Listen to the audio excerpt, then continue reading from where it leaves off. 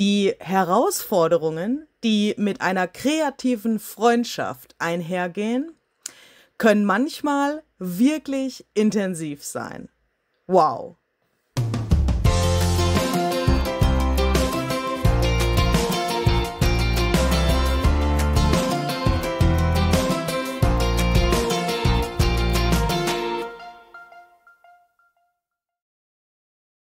Hallöchen, Luise Heinzel hier. Schön, dass du heute eingeschaltet hast. Herzlich willkommen zur leider letzten Episode der kleinen Miniserie über Techniken mit den Ranger Distress Paints, die ich gemeinsam gestaltet habe mit Malis von Mali Design. Wir hatten uns vor einiger Zeit hier bei mir getroffen, um ein paar Videos aufzunehmen für euch und da sind auch unter anderem diese drei kleinen abstrakten Kunstwerke entstanden.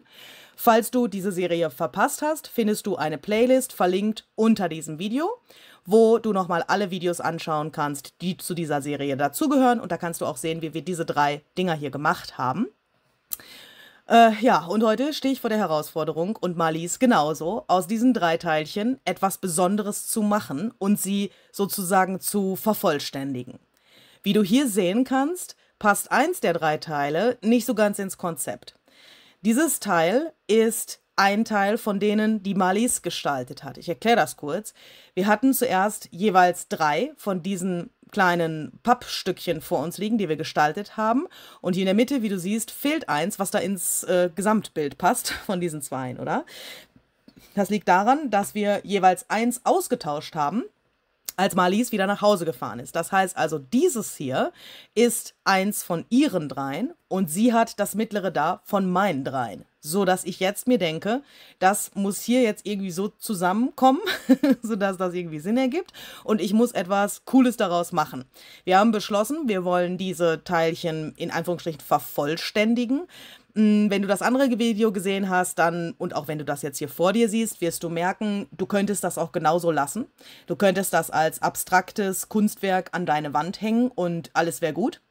Das ist halt jetzt hier sehr abstrakt und wir haben auch beschlossen, dass wir gerne noch ein zusätzliches Video für euch machen wollten, wo wir euch zeigen, wie ihr das noch weiter ausgestalten könnt, wenn ihr vielleicht sagt, ja, ich bin jetzt hier gar nicht so auf dem ganz abstrakten Weg unterwegs.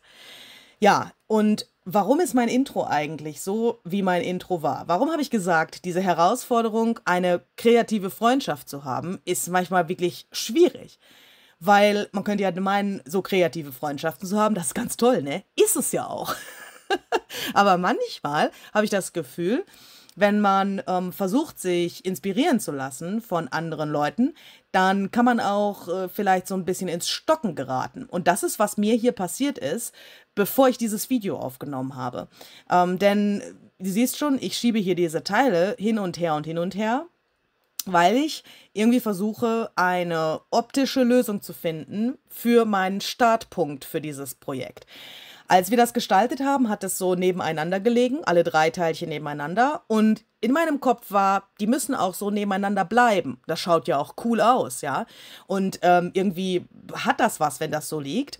Und da habe ich mir gedacht, ja, was könnte ich da machen? Und dann habe ich mich erinnert, das Video, ähm, das letzte Video von Marlies aus dieser Serie, da hatte sie die Silhouette Birds verwendet. Das sind diese hier von Sissix und Tim Holz. Die Nummer ist ähm, 665861 und das sind diese coolen Vögelchen hier. Und auf ihrem Tag, den sie beim letzten Mal gemacht hatte, ihr wisst noch, da haben wir zwei Tags, die aber auch zerschnitten waren, wieder zusammengefügt. Da hat sie diese Vögel verwendet. Und ich habe das so cool gefunden, habe ich mir gedacht, vielleicht sind diese Vögel eine Möglichkeit, die ich hier verwenden könnte. Und dann habe ich mir die ausgestanzt aus genau dem gleichen Stück Papier wie sie auch. Also wir haben auch die anderen Papiere, die wir gestaltet haben, mit verschiedenen Techniken mit den Distress Paints geteilt, sodass wir beide die gleichen Materialien in etwa zur Verfügung hatten, nachdem wir wieder, äh, nachdem Marlies wieder zu Hause war, wieder getrennt voneinander waren sozusagen. Dann habe ich mir die ausgestanzt und habe gedacht, ja, ist einfach eine total geniale Idee von ihr gewesen, das aus diesem Papier auszustanzen. Und wenn ich mir das hier so drauflege, da sehe ich, das passt total gut. Dieses Blau und das Gelb, finde ich, das hat irgendwie was. Es ist ein bisschen vielleicht ein bisschen gewöhnungsbedürftig, aber aus irgendwelchen Gründen habe ich gedacht, das passt gut zusammen und auch die Proportion von den Vögeln, finde ich, passt ganz gut zu diesen kleinen Brettchen da. Ja, habe ich gedacht, so machst du das. So war das in meinem Kopf, inspiriert von Marlies. ist doch gut, oder? Dann habe ich gedacht, ich will diese Vögel aber nicht einfach da so hin machen, ne? Dann dauert das Video fünf Minuten, ich bin fertig, habe ich aufgeklebt, hänge ich das an meine Wand. Das kam mir jetzt etwas merkwürdig vor.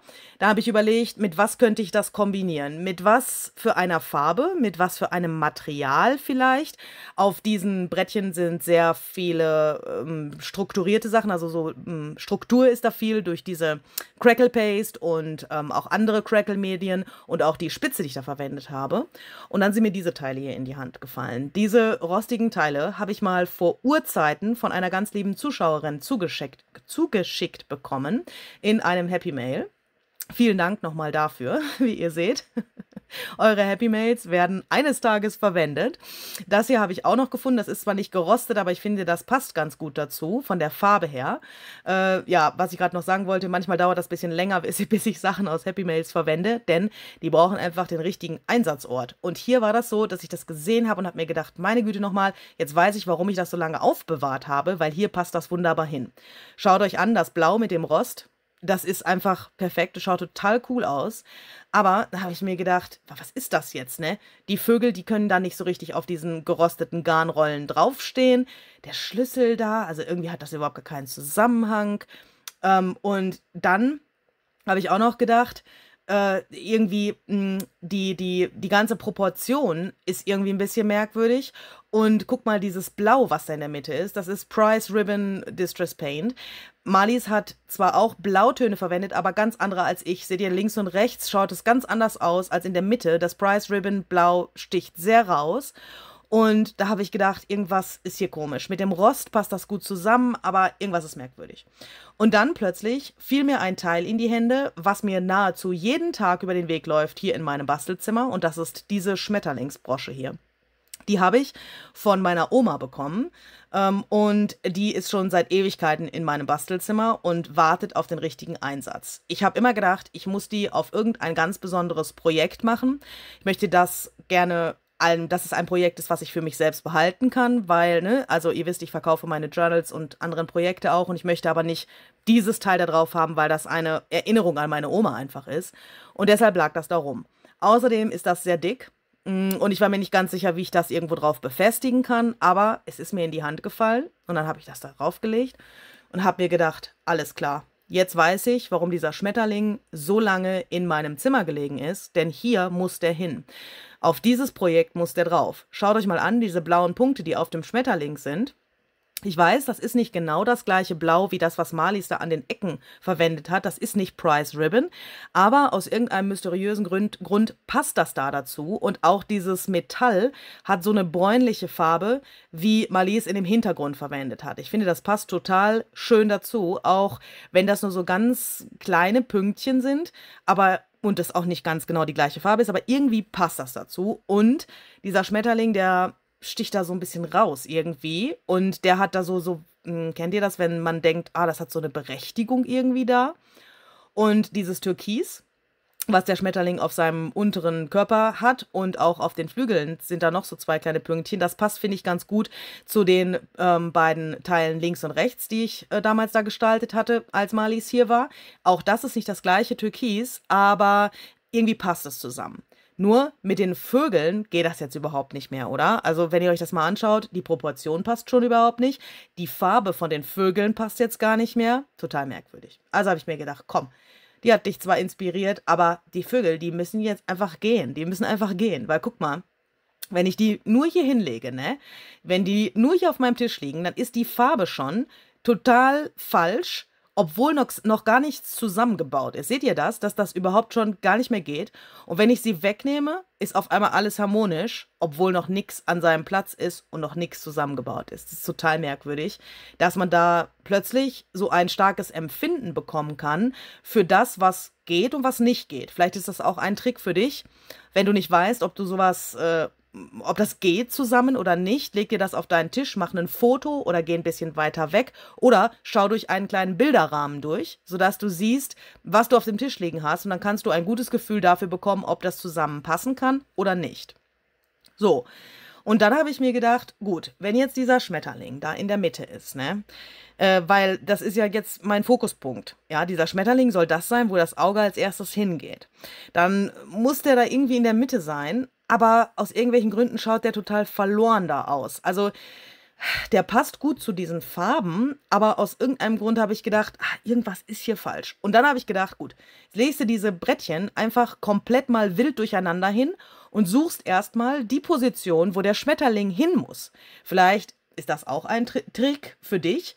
Hm, wenn du irgendwas vor dir liegen hast, nimm das nochmal komplett auseinander und such erstmal die Position, wo dein Fokuspunkt hin soll. Ich habe gedacht, in diesem Fall muss der Schmetterling irgendwo hin, wo auch Spitze ist. Ja, also auf diesem mittleren Ding, guck mal, da schaut der total verloren aus. Ähm, Marlies hat auf ihrem Teil keine Spitze verwendet, deswegen steht das nicht so hoch. Das ist nicht so strukturiert irgendwie äh, oder texturiert, sagt man, glaube ich, wohl eher besser. Weiß ich nicht. Weißt schon, was ich meine, oder? Guck mal, hier ist das was ganz anderes. Die Spitze und das Embossingpulver da drauf, das steht schon von alleine so hoch, dass das eins wird mit dem Schmetterling. Und ich habe auch das Gefühl, dass ich das hier besser ankleben kann als wenn ich das auf einer glatten Oberfläche machen würde. Denn diese Brosche hat ja hinten diesen Pin, diese Pinnnadel. Ich kann das da nicht durch diese Pappe pieksen, weil das ist 4 mm Graupappe, auf der wir das gestaltet haben. Das geht nicht. Aber mh, mm, ja, also muss ich auch irgendwie eine Möglichkeit haben, das gut festzukleben. Unabhängig davon ist der Platz auf dem Panel tatsächlich der richtige. Und dieses hier, das geht dafür einfach nicht. So, jetzt hatte ich aber das Problem, wenn ich jetzt dieses nehmen will, um meinen Fokuspunkt drauf zu machen und das von Marlies in der Mitte sein soll, weil meine beiden links und rechts eine Art Rahmen bilden, dann ist mein Fokuspunkt links. Macht das irgendwie Sinn? Das ist ja eigentlich nicht so schlimm, ja. Ein Fokuspunkt muss ja nicht in der Mitte sein. Manchmal ist es auch gar nicht gut, wenn ein Fokuspunkt in der Mitte ist. Denk nur mal zum Beispiel an den goldenen Schnitt und andere Regeln aus dem professionellen Kunstbereich, lass es mich mal so nennen. Äh, ist jetzt nicht so unbedingt, ne? Muss nicht in der Mitte sein. so. Dann habe ich mir außerdem noch gedacht, ich möchte dieses Schild hier verwenden. Live the life you've imagined. Lebe das Leben, was du dir vorgestellt hast. Das ist auch so ein kleines Metallschild von ähm, Tim Holz aus der Ideology-Kollektion, aus einer der Ko Kollektionen. Ich vergesse mal, wie diese kleinen Schildchen da heißen. Ähm, aber das tut nichts zur Sache. Das will ich da drauf haben. Und dann habe ich gedacht, hier ein paar so Blumen, ne? Die könnten ja auch nicht schaden. Diese Die-Cuts, die ich da zeige und die ich auch ähm, im hinteren Teil dieses Videos verwende, sind auch von Tim Holz. Das sind die Wildflower Stamps. Aus verschiedenen Sets habe ich mir verschiedene ausgeschnitten. Und da habe ich mir gedacht, vielleicht zwei verschiedene Farben zu nehmen und so einen Flow zu machen. Ja, seht ihr, das Weiß kommt im Hintergrund vor, dieses Bräunliche kommt im Hintergrund vor, der Schmetterling ist da links, kein Problem. Da kann man so einen Flow machen. Das schaut jetzt vielleicht irgendwie ein bisschen komisch noch aus, aber könnte gehen so, ne? Und dann habe ich mir gedacht, ja, vielleicht muss das Schild hier in die Mitte, weil, ne, da ist irgendwie nichts. Vielleicht hilft es, wenn ich das ein bisschen so auseinander tue und mir das so irgendwie, ne, verteile. Was ist mit den rostigen Teilen? Ja, so, schaut total komisch aus. Ähm, ich habe dann auch noch diesen Schlüssel hier. Der war auch in diesem Happy Mail von der Zuschauerin. Ähm, und da habe ich mir gedacht, mh, hm, Live the Life You've Imagined passt zu diesem Schlüssel, weil um ein Leben leben zu können, was man sich vorgestellt hat, bedarf es vielleicht eines Schlüssels zu einer besonderen Tür. Das war für mich so eine Art Metapher. Und ich habe gedacht, ich möchte den Schlüssel da drauf haben. Auch nicht nur, weil er schön aussieht da, sondern auch, weil er eben vom Bild her gut dazu passt, von dieser Metapher her. Und da habe ich mir diesen Platz hier ausgesucht, denn dieser Schlüssel ist sehr rundlich natürlich und sehr schwer festzukleben. Auf dieser Spitze sitzt der fast wie in so einem kleinen Bett drin. Deswegen habe ich gedacht, okay, der kann da hin. Da kannst du den gut festkleben. Ja. Und dann saß ich da und habe gedacht, also irgendwie ist das doch kacke, ne? Schaut doch kacke aus. Und dann habe ich einen in Anführungsstrichen Fehler gemacht. Dann habe ich zu Marlies gesagt, sag mal, wie weit bist du denn schon, ne? Habe ich in eine WhatsApp geschrieben und habe gesagt, hallo hier, ne? Erzähl mir mal, was hast du denn da schon gemacht? Und dann hat sie mir ein Foto geschickt von ihren drei Panels und sie hat das einfach wunderschönst arrangiert. Im Übrigen hat sie auch die Wildflower Stamps von Tim Holz und C6 verwendet. Da kann man mal sehen, wie gleich wir teilweise wirklich denken. Also das war völlig unabhängig voneinander. Und ihr ist mega symmetrisch. Es schaut total harmonisch aus. Alles fließt so in den Hintergrund. alles ist irgendwie, ne, so links und rechts, alles so ausgeglichen. In der Mitte hat sie einen ne, Mittelpunkt sozusagen. Das Auge geht sofort auf das mittlere Panel. Und ich habe mir gedacht, okay, Luise, das wird hier so nichts mehr, ne? Ich war total verwirrt. Ich war total, also, äh, I'm stuck, würde man in Englisch, im Englischen sagen. Also ich bin so, so, so festgesteckt einfach in dieser Situation. Dann habe ich mir einen Kaffee gemacht, habe mir gedacht, okay, machst ein Päuschen und machst dir vielleicht auch ein kleines Mittagsschläfchen, was nicht unbedingt Sinn macht in Kombination mit Kaffee. Aber als ich da so in meinem Bett lag, habe ich mir auf einmal gedacht, alles klar. Alles klar. Ich weiß nicht, was das wieder war. Ihr kennt das vielleicht, ich habe das schon öfters mal erzählt, wenn ich so zwischen Wachsein und Schlafen bin, dann kommen mir manchmal so komische Träume. Ähm, und das ist nicht so ein richtiger Traum, weil ich weiß dann am Ende noch, äh, was ich da geträumt habe und ich kann auch das beeinflussen, was ich da denke. Und äh, das ist sehr toll, weil dadurch äh, kommen einem Ideen. Dann habe ich mir gedacht, okay, passt auf. So wird's gemacht. Wer sagt denn, dass ich diese drei Dinger nebeneinander tun muss? Kann ich die nicht vielleicht auch einfach so aneinander machen? Denn dann ist der Schmetterling auf diesem einen Stückchen in der Mitte und die anderen zwei Teile bilden trotzdem wie eine Art Rahmen, eine Ergänzung. Sie sind Teil dieses oberen Teils, aber das Ganze schaut nicht mehr so verloren aus, das Ganze schaut nicht mehr so auseinandergerissen aus und vor allen Dingen ist der Schmetterling in der Mitte, ohne dass Marlies Panel in der Mitte sein muss. Ich hoffe, das macht irgendwie Sinn. So, also habe ich beschlossen, das da wird irgendwie so, so eine Art oberste Lage, wie so ein kleiner Rahmen auf Rahmen oder so. Versteht ihr, was ich meine? Vielleicht wird das gleich klarer, wenn ich euch zeige, was ich da ähm, vorhabe. Dann habe ich mir gedacht, ich möchte das Ganze später an meine Wand hängen.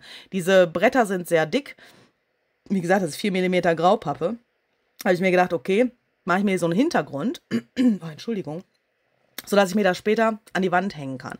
Wenn ihr dieses Video seht und ihr denkt euch, ja, hm, äh, das hat aber jetzt nicht mehr so ganz viel mit Junk Journaling zu tun, ähm, würde ich erstmal widersprechen und sagen, doch, hat es schon.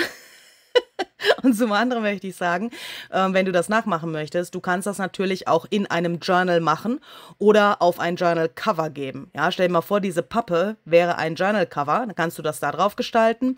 Oder was ich mir damit auch gut vorstellen könnte, wäre so ein Klappkalender, den man auf, ähm, auf den Tisch so stellen kann. Wisst ihr? Gibt auch diese Stehkalender oder wie sagt man da dazu? Dafür könnte man das natürlich auch gut ähm, gestalten.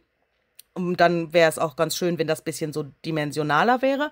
Aber du kannst es natürlich auch nachmachen, indem du einfach ähm, dünnere Papierchen nimmst, ja, und das auf eine Junk Journal Seite klebst. Das muss jetzt nicht unbedingt so was Dickes sein. Das funktioniert auf dünnem Material genauso. Für meinen Hintergrund möchte ich diese Teile hier verwenden. Diese sind auch entstanden in der, dieser Miniserie über die Distress Paint Techniken. Hier haben wir Embossing Folder verwendet und das Papier embossed und dann die Paint draufgerollt mit einem Brayer und danach Distress Oxide Spray gesprüht, um dann die Paint wieder zum Vorschein zu bringen, indem wir die Oxide Ink an den Stellen wieder abgerubbelt haben, wo vorher die Paint war. Äh, klingt jetzt gerade ein bisschen äh, konfus, wenn du das Video nicht gesehen hast und diese Technik nicht kennst. Ähm, aber wenn dich das interessiert, kannst du das Video natürlich auch in der Playlist finden. Und ich möchte diese ähm, Stückchen hier benutzen, um so einen ja, gepuzzelten Hintergrund zu machen. Jetzt ist es so, dass ich äh, von, diesen hellen, von diesem hellen Stück hier nur eins habe, deswegen zerschneide ich mir das äh, mit Nachdenken. Normalerweise schneide ich ja nicht so mit Nachdenken, ne? Oder gar messen. So, das wird mir schon ganz schlecht, wenn ich nur dran denke. Aber in diesem Fall äh, muss ich nachdenken, weil wir brauchen hier mal drei Stückchen. Weil, ne, die goldene Regel, drei Teile von einer Art sind immer gut. Schöne Grüße an Barbara von 49 Dragonflies, ähm, die das in sehr, wie sage ich, will nicht sagen epischer Breite, weil das klingt so negativ. professionellst epischer Breite, nennen wir das mal so erklärt. Und dieser Trick, der hat mir schon so oft so viel weitergeholfen Nehmt ungerade Zahlen, 3 ist gut, 5 ist gut, 7 ist gut äh, und verteilt es einfach so ein bisschen, dann schaut das hinterher immer gut aus. Mit den anderen Stückchen hier habe ich nicht ganz so große Probleme, weil ich davon mehr habe, aber alle anderen Teile, die ich habe, sind dunkler und deswegen äh, ne, habe ich jetzt erstmal angefangen mit den drei helleren und ihr seht schon, hier äh, habe ich das schon alles aufgeklebt. Ich hoffe, das, was ich da gerade erzählt habe, macht irgendwie Sinn. In der Mitte habe ich nichts hingeklebt, weil ich möchte mein Material nicht verschwenden. Dieser Bereich wird überdeckt von den drei ähm, Panels später, sodass ich da nichts hinkleben brauche. Und der Plan ist jetzt, dass ich die hier so irgendwie übereinander mache. Erstmal kommt mein Schmetti hier hin, damit ich mich hier orientieren kann. Der Schlüssel kommt später in sein Bettchen hier. Den lege ich mir da jetzt auch schon mal so hin, dass ich da weiß, was ich da tue. Ihr seht, der liegt da so richtig schön flach drin und den kann man da perfekt aufkleben. Ähm, vielleicht sollte man damit mal starten, weil dann kann das in Ruhe trocknen. Äh, da nehme ich mir jetzt Buchbindeleim, man könnte alternativ auch Heißkleber nehmen und äh, klebe den da dran und dann klemme ich den mit Klemmen hier fest, sodass der parallel zu dem Rand von diesem Panel da ist. Das ist gar nicht so einfach, weil, man, weil das so rund ist und der rutscht das so ein bisschen weg, muss man sich ein bisschen äh, in Geduld üben. Das ist ja meine allergrößte Stärke, wie ihr wisst, aber es funktioniert gut. Mm, mit Heißkleber würde das wahrscheinlich auch gut funktionieren. Und äh, ja, dann kann das da trocknen und der Schmetterling, der soll jetzt hier hin. Und da habe ich mir jetzt gedacht, hm, der fügt sich da eigentlich schon ganz gut irgendwie ein, aber in Anbetracht der Tatsache, was ich dann noch so im Kopf hatte mit diesen kleinen Wildflowers, habe ich mir gedacht, vielleicht wäre es ganz gut, wenn man eine von denen hinter den Schmetterling setzen würde. Und diese hier, die hatte ich noch übrig von einem anderen Projekt. Da fehlt ein Stück. Ähm, ich zeige euch hier gerade das Set, aus dem die stammt. Das ist dieses hier. Die Nummer zeige ich die hier vielleicht auch äh, 664164, hoffe ich, dass das jetzt stimmt. Ja, 664164.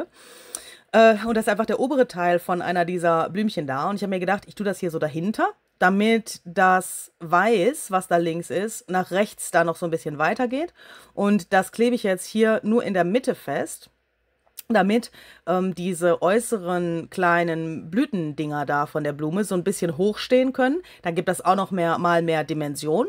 Und da ich das später an meine Wand hängen will, macht mir das auch nichts, wenn das nur in der Mitte festgeklebt ist. Was soll da passieren? Ja, wenn du das in ein Journal klebst, würde ich es vielleicht gucken, also an welcher Stelle das ist und schauen, dass man es vielleicht noch ein bisschen flächiger festklebt, damit da einfach nichts passieren kann, wenn man die Seiten umblättert zum Beispiel. Diesen Schmetterling möchte ich jetzt mit Heißkleber festkleben. Da ist schon meine Heißklebepistole. Ähm, ich hatte da ein bisschen äh, Schwierigkeiten, weil ich möchte natürlich, dass dieser Schmetterling so aufgeklebt ist, dass man den Kleber nicht sieht. Ne? Also ja. Aber es muss natürlich genug Kleber vorhanden sein, dass der halten kann. Jetzt mache ich mir hier mal so ein kleines Pünktchen drauf.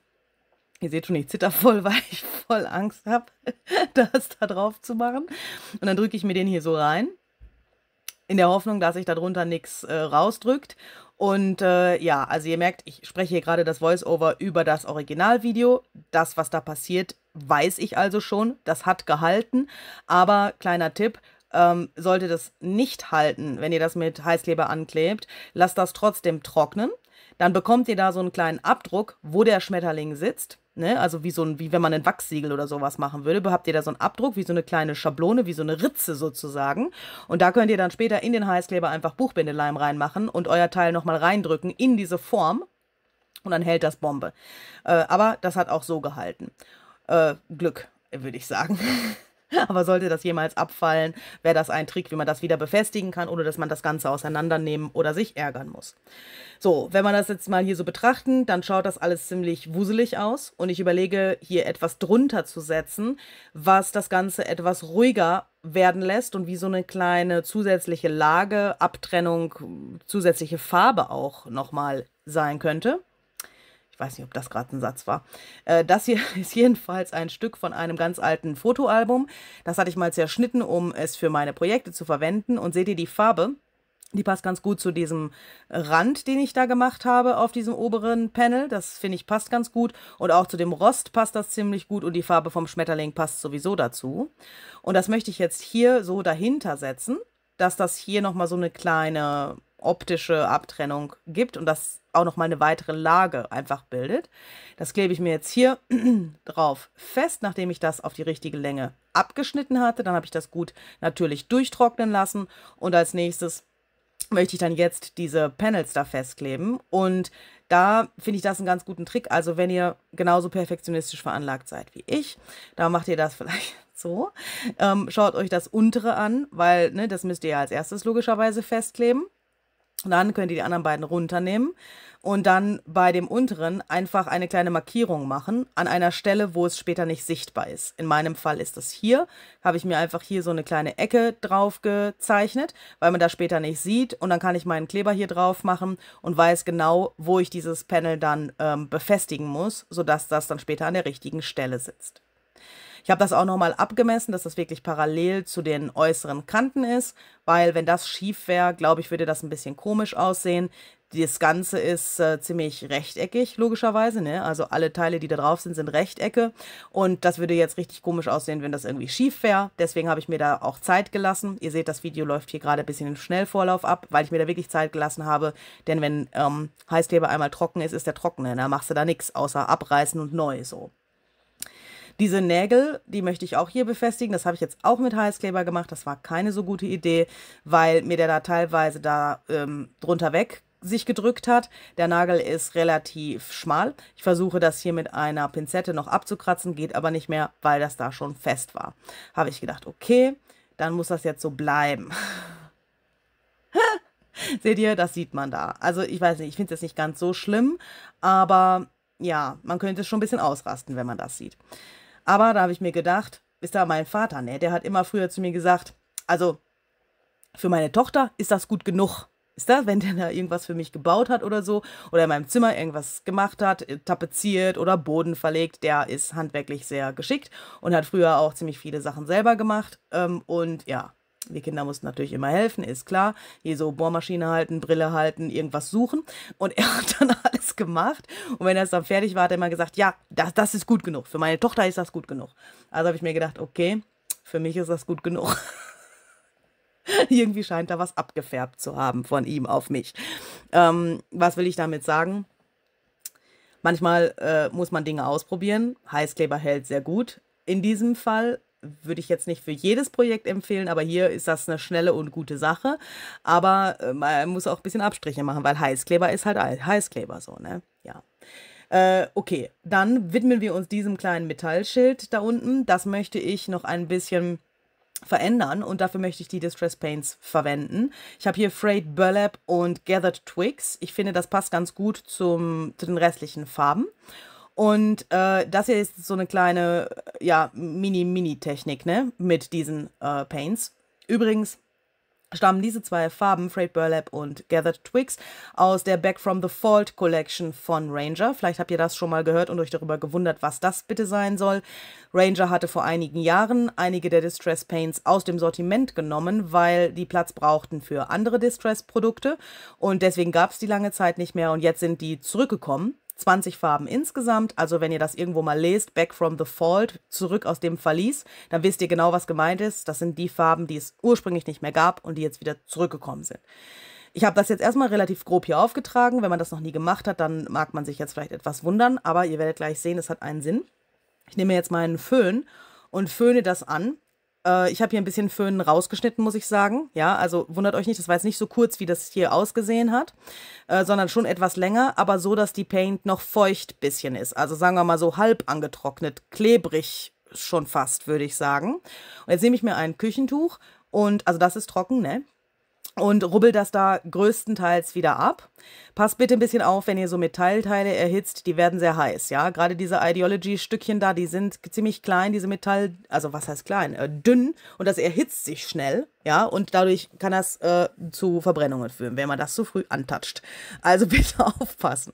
Wie ihr seht, setze ich das jetzt in diese Schrift da rein, in diese Ritzen von der Schrift, aber ich habe das allermeiste von der Paint wieder runtergenommen.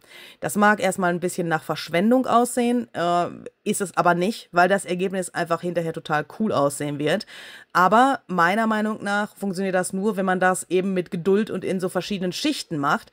Wenn ihr da ganz viel Paint drauf macht, nur eine Schicht und das dann wieder runter macht, dann wird das meiner Meinung nach nicht so schön. Aber da muss man auch seinen eigenen Weg finden, wie man das macht und jeder macht das ein bisschen anders. Um diese Schrift noch ein bisschen mehr herauszubringen, nehme ich mir hier Ground Espresso Distress Crayon. Man könnte auch hier für diesen Schritt jetzt nochmal Paint nehmen. Äh, würde auch funktionieren, aber ich finde die Crayon ganz gut, vor allen Dingen jetzt bei diesem warmen Wetter. Da kann man das relativ gut verschmieren und dann geht das in die Buchstaben da so rein, in diese Ritzen und dann kann man den Überschuss einfach mit einem trockenen Küchentuch wieder abwischen, sodass man die Schrift dann richtig gut lesen kann. Voraussetzung dafür ist natürlich, dass die Paint vorher trocken war, ja. Und was ich auch sagen möchte, Ihr könnt das natürlich auch mit anderen Medien machen. Ihr müsst jetzt dafür nicht die Distress Paint nehmen oder ihr müsst überhaupt gar keine Ranger-Produkte verwenden. Ihr könnt das auch mit zum Beispiel Acrylfarbe machen oder anderen Medien, die auf Metall halten. Da könnt ihr mit Sicherheit auch einen coolen Effekt hinbekommen. Oder wenn ihr sowas gar nicht habt, dann könnt ihr das auch mit bisschen Stahlwolle so an rubbeln, ja, und das, ähm, das Metall einfach ein bisschen anrauen, dann schaut das auch interessanter aus, als es aus irgendeiner Verpackung gerade rausgeschlüpft ist, ja. Also ich finde diese Metallschildchen von Ideology eigentlich auch schön, so wie sie sind, aber wie man hoffentlich hier sehen kann, passt das jetzt farblich viel besser zusammen, wenn man das ein bisschen bearbeitet hat und das ganze, dieser ganze Rost da äh, auf diesem ganzen Teil da wird man denken, ja, hm, wenn das da so komplett silber ist, ist irgendwie ein bisschen unlogisch, ne? Diese Brosche schaut auch ein bisschen gealtert aus und wenn dann da so neues silbernes Schildchen ist, das wäre ja irgendwie ein bisschen merkwürdig. Deswegen habe ich das eigentlich hauptsächlich gemacht, aber diesen Schritt kann man natürlich auch weglassen oder mit anderen Medien machen. Genauso wie der ganze Rest vom Projekt kann man auch mit anderen Medien machen, logischerweise. Ähm, ja, äh, hier nehme ich mir jetzt zwei so kleine Brads. Ich suche hier gerade die richtige Farbe und ich denke, dass das hier ganz gut passen könnte, weil ich möchte gerne dieses Schild da unten mit diesen Brads befestigen. Und ähm, ich finde, das passt ganz gut zu dieser Pappe von dem Fotoalbum, zu dem Rost und auch zu dem Schmetterling. Ähm, ich möchte, dass die nicht zu auffällig sind, diese Dinger da, aber sie sollen natürlich irgendwie sichtbar sein und farblich passen. Das ist manchmal gar nicht so einfach. Jetzt markiere ich mir hier mal die Löcher, wo diese Dinger da sitzen müssen.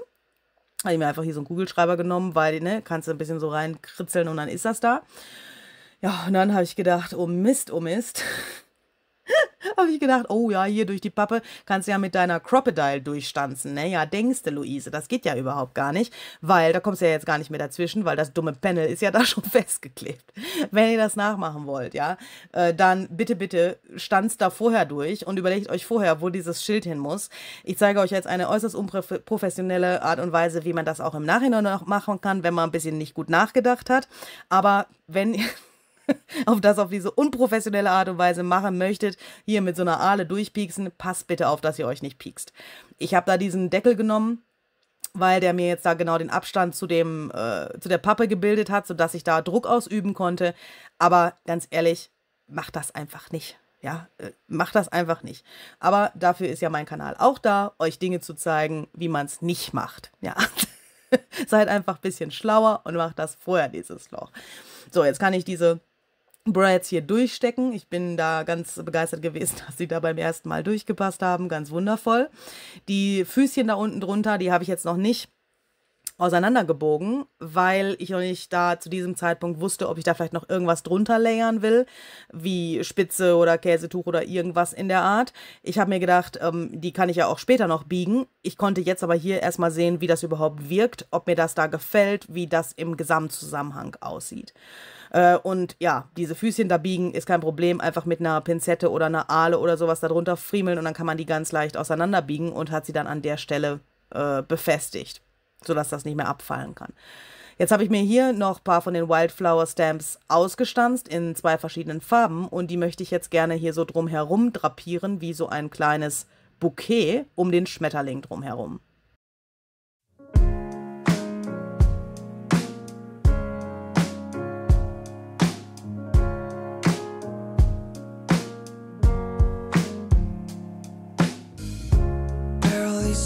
when we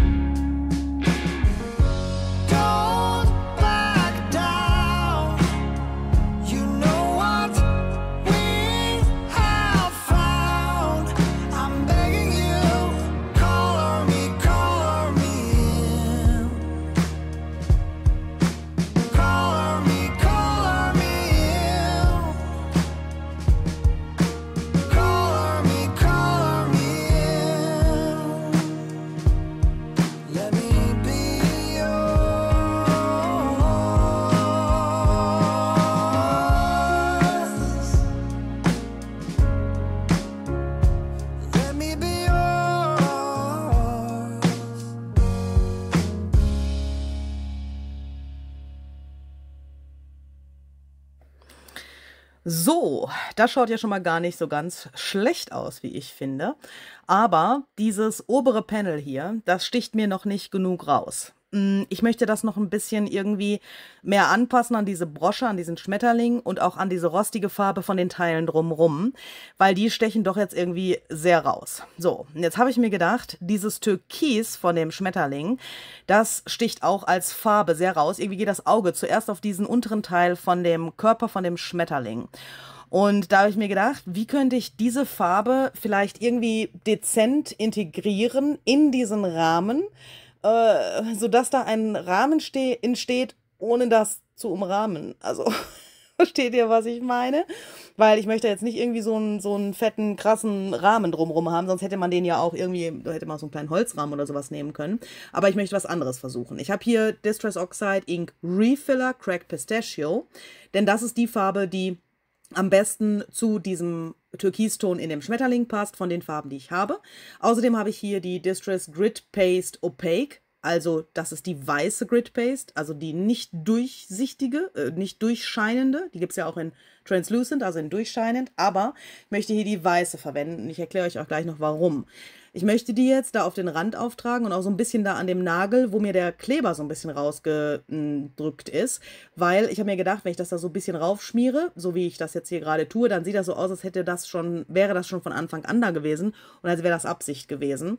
Ähm, und gleichzeitig kann ich da diesen kleinen Kleberunfall so ein bisschen vertuschen habe ich mir jetzt hier einfach einen Spachtel genommen und mit dem trage ich das jetzt da so auf, relativ unregelmäßig. Wie gesagt, ich möchte das nicht komplett umrahmen. Ähm, das soll nur dieses obere Panel so ein bisschen mehr hervorholen für das Auge, sodass der Rest drumherum wirklich wie ein Hintergrund wirkt und nicht so sehr ablenkt von dem Schmetterling. Der ist ja relativ klein eigentlich so, ne? wenn man das so bedenkt. Der, dieser Fokuspunkt ist relativ klein eigentlich für dieses große Teil. Diese Pappe im Übrigen, ähm, die im ganz im Hintergrund liegt, das ist DIN A5. Ja, also so, dass ihr euch das vielleicht ungefähr vorstellen könnt. Jetzt trage ich das hier so auf und versuche das auch so ein bisschen nach innen zu verblenden. Die anderen weißen Stellen, die auf diesem Panel sind, sind mit äh, weißem Embossing-Pulver gemacht. Das funktioniert jetzt hier ganz gut, weil die Grit Paste die ist halt so ein bisschen sandig, ne? deswegen heißt die auch Grit Paste. Ähm, und äh, dadurch hat die so eine ähnliche, aber wirklich nur ähnliche Struktur wie das Embossing-Pulver und man kriegt das ganz gut unauffällig da so hin verblendet, ohne dass das wer weiß, wie auffällt. Während das Ganze noch feucht ist, nehme ich mir meinen Distress Oxide Ink Refiller und träufel das hier vorsichtig drauf, ohne mir die Grit Paste an das Refiller-Fläschchen zu schmieren. Falls das passiert, kann man es ganz einfach wieder abwischen mit einem Zewa oder so. Und jetzt nehme ich mir hier so ein Ohrenstäbchen und tupfe da so vorsichtig drauf, sodass sich der Refiller verbindet mit der Grid Paste. Man könnte die Grid Paste auch trocknen lassen und das dann drauf tun, dann ist das nicht ganz so fein, äh, erfordert nicht ganz so fein motorische Fähigkeiten, denn wenn die Grid Paste noch feucht ist, dann verformt die sich natürlich, wenn ihr da jetzt mit diesem Ohrenstäbchen so drauf tupft aber ich mache das ganz gerne in äh, feuchtem Zustand deshalb, weil ich habe das Gefühl, ich kann das dann besser kontrollieren. Und zum anderen ist es so, wenn ihr die Grid Paste trocknen lassen würdet oder auch jedes andere Medium und dann würdet ihr da den Refiller drauf tun, dann kann es passieren, wenn ihr das zu dick auftragt, dass das nicht richtig trocknet und dass, wenn ihr da später mit dem Finger drüber geht, sich das noch abfärbt. Und auf diese Art und Weise passiert das nicht. Dann vermischt sich das und wenn es trocken ist, dann ist das komplett abriebfest. Deswegen mache ich das so. Äh, ja, äh, außerdem, jetzt habe ich hier dieses Türkis schon aufgetragen, möchte ich noch ein paar Brauntöne da hinzufügen, damit das Ganze noch auffälliger und vor allen Dingen noch rostiger wird. Dafür brauche ich irgendwie so ein rötliches Braun, äh, was da irgendwie dazu passt und gleichzeitig muss das bisschen dunkler irgendwie werden. Ich hatte zuerst an Rusty Hinge gedacht. Das ist ja so eine richtig rostig-orangene Farbe. Das ist aber ein bisschen zu krass. Und außerdem ist mir dann aufgefallen, das habe ich auch gar nicht als Refiller. habe ich da auf mein Regal gestarrt. Ist mir aufgefallen, dass ich das überhaupt gar nicht habe. Ähm, vielleicht gehen aber auch, geht aber auch eine Kombination aus anderen Farben. Ähm, ich werde mich gleich entscheiden für Vintage Photo und äh, Ground Espresso. Ähm, aber nochmal, wenn ihr diese Medien von Ranger nicht habt, dann könnt ihr sowas natürlich auch mit anderen Medien hinkriegen. Gerade so Rosteffekte, da gibt es ja auch andere Medien, mit denen man das machen kann. Auch so sandige Pasten zum Beispiel, die man auftragen und dann mit Acrylfarbe einfärben kann. Äh, man könnte auch zum Beispiel nur Acrylfarbe nehmen. Ihr könnt auch versuchen, das mit Vogelsand oder etwas ähnlichem, körnigen zu vermischen. Ähm, ich habe auch schon mal zum Beispiel Eierschalen, ne, getrocknet und dann dieses kleine Häutchen innen rausgemacht, klein zerbröselt und das mit Acrylfarbe vermischt oder mit Gesso, das funktioniert auch. Oder ihr könntet es auch zum Beispiel mit Mattmedium oder so vermischen. Ähm, wenn ihr solche Medien nicht habt wie die von Ranger, dann könnt ihr das natürlich auch mit anderen, sagen wir mal so, Haushaltsmittelchen zusammen euch mischen, wenn ihr möchtet. Ähm, das muss jetzt nicht unbedingt dieses Medium sein.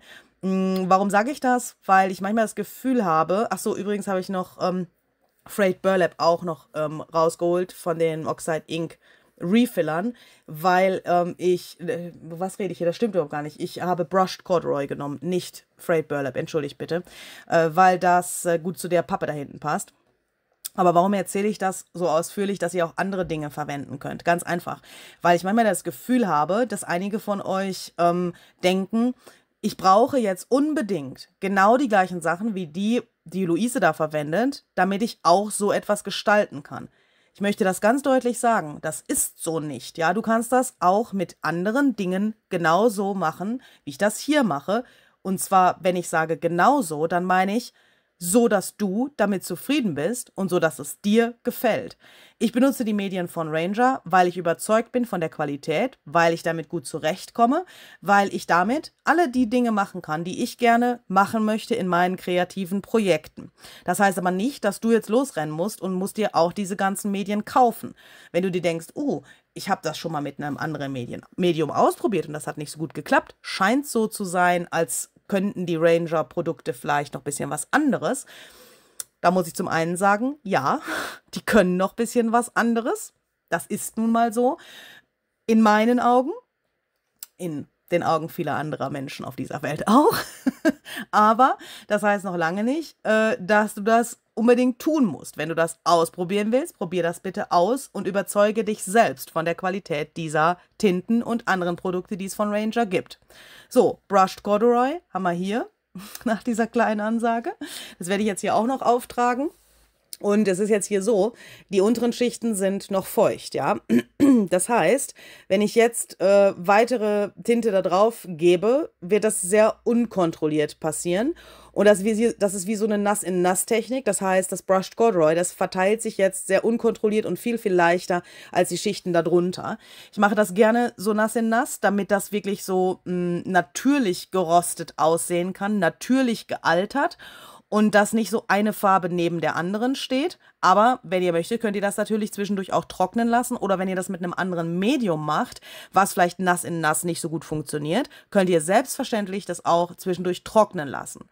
Mm, Wenn ihr das mal probiert mit diesen Tinten, werdet ihr feststellen, dass die erste Schicht die schwierigste ist, weil da fließt das noch nicht so gut. Da könnt ihr auch natürlich Wasser zu Hilfe nehmen, dass das sich ein bisschen leichter verteilen kann.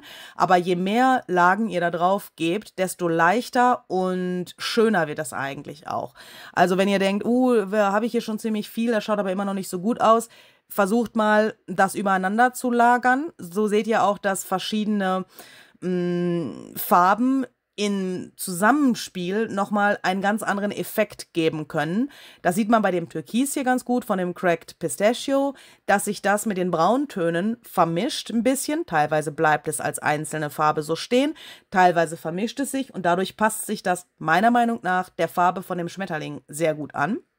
Und deswegen äh, bin ich da auch nicht, wer weiß wie vorsichtig oder zurückhaltend, sondern ich äh, gebe da drauf mehr und mehr und mehr Schichten. Ich meine jetzt nicht von der, nicht mehr Milliliter von der Tinte, ja, das meine ich jetzt nicht, sondern ich meine äh, mehr Lagen einfach, sodass das Ganze einfach interessanter wird. Man kann natürlich auch zu viel drauf machen, ist ganz klar. Ähm, ihr werdet später noch sehen, dass ich da noch etwas verändere, weil mir das noch nicht ganz so gut gefallen hat. Aber was für mich spannend ist, ist so dieses Herumexperimentieren. Genauso wie mit diesem Blatt hier gerade, weil ich versuche hier an diesem unteren Rand noch etwas zu verändern. Vielleicht seht ihr, dass das Ganze so ein bisschen kippt, Mm, denn der untere Rand von diesem oberen Panel, der ist sehr nah an diesem Metallschild. Und ich habe das Gefühl, dieser untere Rand ist nicht breit genug, der ist nicht auffällig genug. Und deswegen habe ich mir diese Garnspulen genommen und habe gedacht, vielleicht kann ich die da irgendwie integrieren. Die sind auch gerostet, die passen also farblich wunderbar dazu.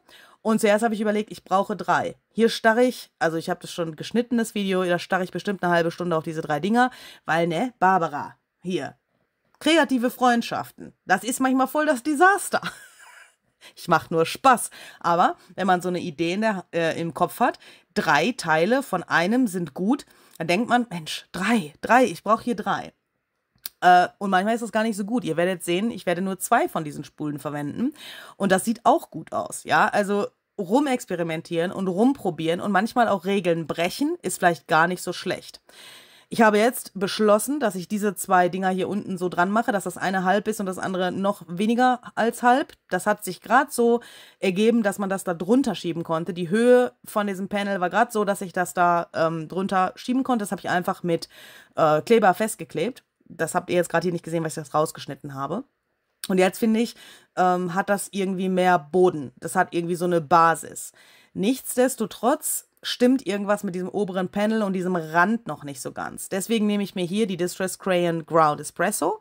Ihr könntet theoretisch auch nochmal äh, Refiller benutzen oder Acrylfarbe oder irgendwas anderes. Und ich gehe jetzt erstmal, bevor ich mich um das mittlere Panel kümmere, um den ganz äußeren Rand. Das mache ich deshalb, damit zum einen diese Kante von der Pappe nicht mehr so zu sehen ist, weil das habe ich ja einfach abgeschnitten und ist jetzt halt diese graue Pappe da zu sehen. Das schaut natürlich voll bescheuert aus. Deswegen färbe ich das ein und schmiere das auch ein bisschen auf den Rand. So kann ich mir jetzt schon mal den äußeren Rand besser vorstellen und kann dann entscheiden, wie ich weitermache. Und hier habe ich beschlossen, dass ich auch auf diesem ähm, Panel ganz oben von dieser Farbe etwas haben will, damit sich das noch mehr abhebt. Ich schmiere auch ein kleines bisschen von dieser Kreide auf die anderen Panels, aber nicht so viel wie auf dem oberen, weil ich möchte ja nicht, dass alle drei die gleiche, das gleiche Gewicht haben, optisch, ja. Das darf nur ganz bisschen sein, meiner Meinung nach, dass es einen Zusammenhang bildet, aber dass es nicht zu rausstechend ist. Diese Crayon könnt ihr ganz einfach mit dem Finger verschmieren oder wenn das nicht so gut geht, weil es zum Beispiel gerade kalt draußen ist oder ihr kalte Finger habt, dann könnt ihr auch ähm, Wasser zur Hilfe nehmen und das dann ein bisschen so verblenden. Das habe ich hier teilweise getan, aber an manchen Stellen habe ich das auch sehr dick aufgetragen, sodass es wirklich sehr stark sichtbar bleibt und nicht zu stark verblendet ist.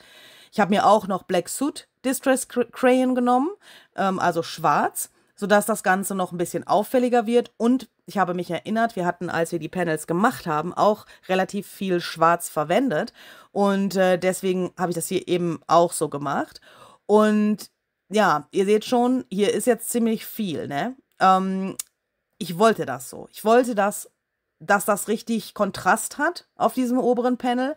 Aber was ich dann festgestellt habe, ist, dass mir die Ink ah, zu stark in die Grid Paste reingelaufen ist. An diesem Rand sind zu wenig weiße Stellen übrig geblieben. Das kommt einfach durch meinen experimentellen Prozess. Und das ist auch, finde ich, vollkommen normal. Ja, also wenn du sowas hast und du denkst, ah, das ist jetzt irgendwie hier äh, blöd, gib nicht auf, sondern überleg, was du machen kannst. Wenn du zum Beispiel wie hier jetzt sagst, ich brauche mehr Weiß, mit welchem Medium kannst du das erreichen? In diesem Fall ist das Problem jetzt das folgende. Man könnte jetzt denken, naja, man kann ja einfach nochmal Grid Paste nehmen, diese weiße, grittige Paste, also die körnige Paste, und die da drüber schmieren, sodass man wieder weiße Stellen bekommt. Das geht aber in diesem Fall nicht, weil diese Grid Paste Gesso-basiert ist. Das heißt also, da ist Gesso drin und dieses körnige Zeug. Die Tinte würde also mit der Zeit in die Grid Paste reinziehen und diese Grid Paste einfärben. Deswegen kann ich das da nicht drüber geben. Und ich wollte das auch nicht mit irgendwas versiegeln. Ähm, man könnte zum Beispiel auch Matt Medium oder Collage Medium oder sowas nehmen und das versiegeln. Das funktioniert in den allermeisten Fällen medium gut, aber das äh, zerstört die Optik von der Grid Paste. Und das gefällt mir überhaupt nicht, ähm, weil diese Grid Paste, die ist so richtig, ja, die fühlt sich auch äh, rau an und die sieht rau aus und ich wollte mir diese Optik einfach nicht zerstören. Drum habe ich gedacht, was kann ich nehmen, das weiß ist, weiß bleibt, was ich da jetzt drauf machen kann, ohne mir das andere zu zerstören, aber so, dass ich kontrollieren kann, wo dieses Weiß hinkommt. Ganz einfache Lösung, weißes Embossingpulver. Das habe ich übrigens auch benutzt, um diese Stellen auf dem Panel da zu machen. Das ist auch der Grund dafür, warum das weiß geblieben ist. Denn wenn ihr Embossingpulver schmilzt, ist das ja so ähnlich wie Plastik, ne? Und darauf, weil das so glatt ist, kann keine Tinte trocknen. Deswegen ist es da auch an den Stellen weiß geblieben auf dem Panel, wo das Embossingpulver schon vorher war. Und deswegen habe ich mir gedacht, ich nehme diesen kleinen Löffel hier. Äh, Elise, Dankeschön. Ich weiß schon. Gleich habe ich wieder, wenn dieses Video online ist, habe ich danach gleich wieder eine WhatsApp-Nachricht. Da äh, kriege ich so eine Sprachnachricht und da hört man dann folgendes. Oh, du hast ja meinen kleinen Löffel verwendet. Ja, habe ich, denn der ist sehr praktisch, um, um so Embossingpulver kontrolliert aufzutragen. Also nochmal Dankeschön für diesen Löffel, denn der hat mir schon sehr oft ich will jetzt nicht sagen, das Leben gerettet, aber viele Projekte gerettet. Ich träufel mir das jetzt hier drauf, während die Tinte darunter immer noch ein bisschen feucht ist. Das sorgt dafür, dass das Embossingpulver an diesen Stellen kleben bleibt. Ein kleines bisschen davon wird jetzt wegfliegen. Mit diesem äh, Föhn hier, das ist das Ranger Heat Tool, fliegt nicht ganz so viel weg wie mit einem normalen Embossing-Föhn. Dieser Föhn wird sehr heiß, aber der bläst nicht so doll. Deswegen, wie ihr seht, hat das hier gerade wunderbar funktioniert. Und ich kann so die Stellen aufhellen, weiß machen, die ich gerne weiß haben möchte. Hier seht ihr das im fertigen Zustand und ich finde, das schaut tausendmal besser aus als vorher und ich bin total zufrieden damit und ich bin echt glücklich, dass ich das gemacht habe. Ein bisschen was von dem Pulver, wie gesagt, fliegt weg. Äh, ich habe jetzt da so ein bisschen was auf meinem Tisch, das spürt man richtig, aber kein Problem. Nimmst du einfach einen Swiffer und dann tust du das wieder weg, swiffern oder einen Staubsauger gerade über den Tisch fahren. Das mache ich sowieso jeden Abend, also von daher ist das jetzt nicht so das Problem. Das ist aber auf jeden Fall etwas, was äh, dauerhaft weiß bleibt und deswegen bin ich da sehr glücklich drüber. Und die Struktur passt natürlich auch gut zu ähm, der anderen Struktur, die schon vorher da drauf war, ja, wo ich auch schon Embossingpulver verwendet hatte. Insofern ist das ein ganz guter Zusammenhang, wie ich finde. Apropos Zusammenhang, als letztes möchte ich jetzt hier noch ein paar weiße Spritzer drauf machen, um die Blumen noch so ein bisschen lebendiger werden zu lassen. Ich finde das immer ganz schön, wenn das so aussieht, als wenn da ein paar so kleine Pollen rausfliegen. An alle Pollenallergiker, äh, sorry. Ich glaube, das sind die einzigen Pollen, die ihr ertragen könnt. Es tut mir sehr leid, aber ich finde das immer so schön, wenn das da so ein bisschen so raussprüht, obwohl das natürlich ja für gesundheitliche Probleme nicht gerade so geil ist. Aber ist ja in diesem Fall Gott sei Dank nur Farbe. Äh, ja, so schaut das Ganze jetzt aus. Das ist mein fertiges Endergebnis sozusagen. Ich hoffe, es gefällt euch. Ich hoffe, ihr seid ein bisschen ermutigt, dass ihr sowas auch mal ausprobieren möchtet. Vielleicht habt ihr ein bisschen Inspiration gewinnen können für eins eurer eigenen Projekte oder mehrere vielleicht sogar auch. Vergesst nicht, euch Malis Video anzugucken, welches ihr auf eurem, auf eurem, ist klar, auf ihrem Kanal heute finden könnt. Entschuldigung. Der Link befindet sich unten in der Infobox. Ich bin sehr gespannt, ob ihr Ergebnis so geblieben ist wie dieser Zwischenstand, den ich gesehen habe, oder ob sie ihren äh, Mind nochmal geändert hat. Wie sagt man? Ihre Meinung? Ihr, ihr wisst schon. Tschüssikowski. Ah!